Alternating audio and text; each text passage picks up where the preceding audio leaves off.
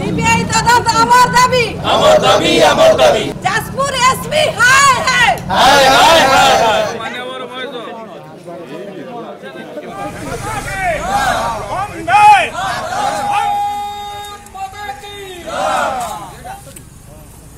আগরু নাকাবু